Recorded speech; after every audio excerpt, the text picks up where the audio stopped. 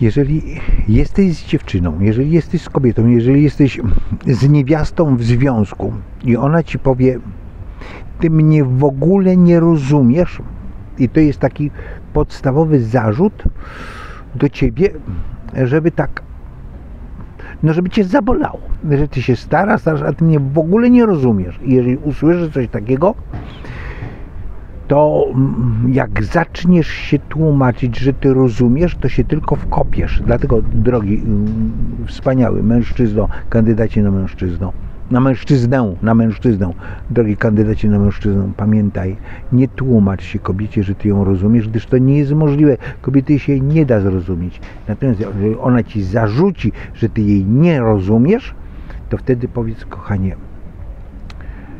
nas łączy coś dużo ważniejszego.